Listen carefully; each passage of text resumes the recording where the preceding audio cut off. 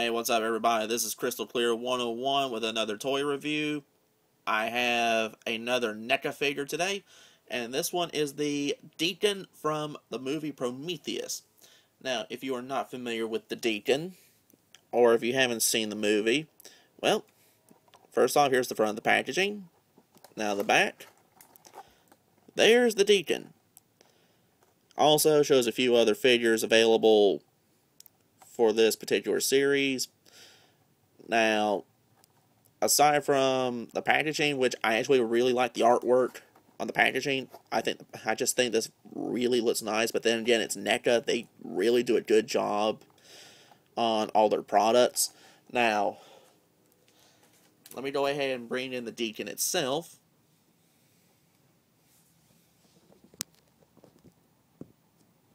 There we go. Now, if you're wondering, why does that look like an alien? Why does that look like a xenomorph? Well, because it is.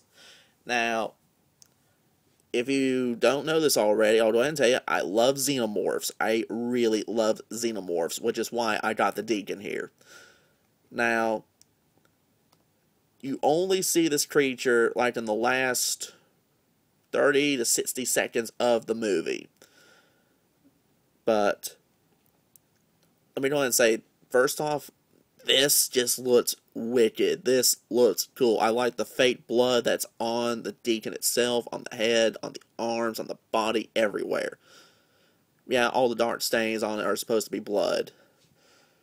But the figure itself consists of, uh, if I remember, it's a ball hinge for the elbow, for the shoulders rather, ball hinge for the elbows, there is a swivel for the lower arms, and there's a swivel for each wrist.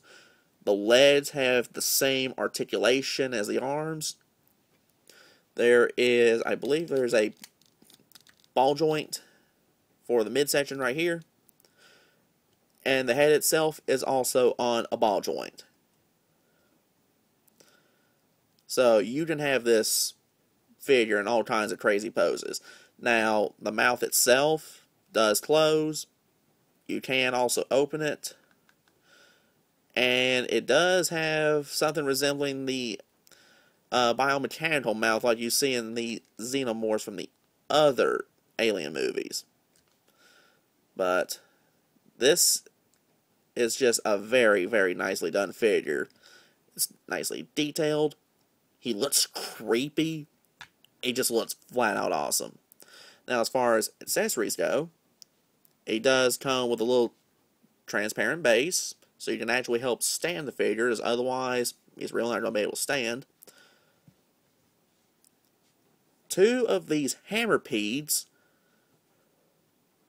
and basically two different versions of the hammerpede, as you can clearly see, but each one is kind of a soft rubber, and each one does have a little bendable wire in them so you can actually pose these little creatures. Which I thought was pretty cool they actually included these little hammerpedes. And last but not least, it does have a engineer's head with the helmet.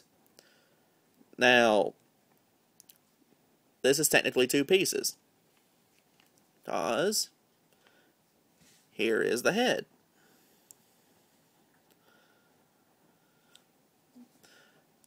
And NECA did a very good job on the engineer's head.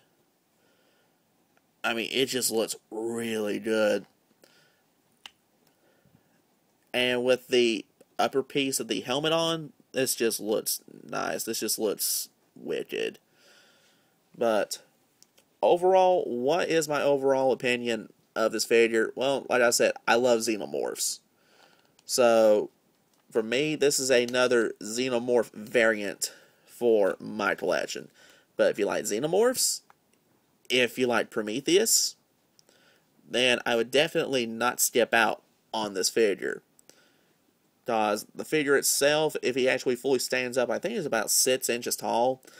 But you get the Deacon, two hammer Hammerpedes, an engineer helmet with a, where the helmet's actually removable. You actually see the engineer head overall, very nicely done. NECA did a really good job on this one. I have really nothing but good things to say about the Deacon here.